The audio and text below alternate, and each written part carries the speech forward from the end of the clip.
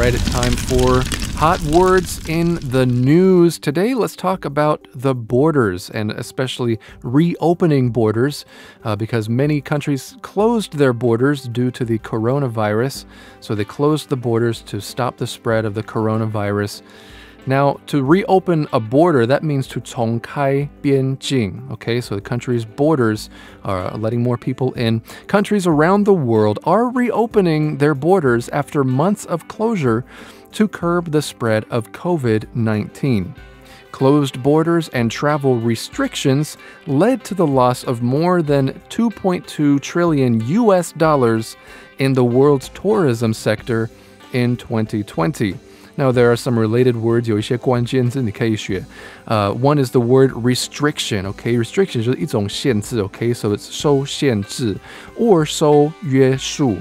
That is a way of stopping something from happening. Okay, or not letting someone do something. Uh, another word is resume. 它看起来也很像 resume 这个字，就是履历表，但是这边是发音就是 resume，它是一个动词，and that is the idea 呃，就是继续，还有重新开始，好像那两个意思重在一起，就是 resume 这个意思。因为你不是从头开始，是好像停了一下，然后要重新开始。Okay, so you're resuming something. People are resuming this. Another word you might want to know is the word tourism. Now, tourism 就是旅行业，so or 旅游业。So there are many tourists traveling around the world. They want to travel again. Tourism is opening up again. Hopefully. Well, that is all for today's hot words in the news.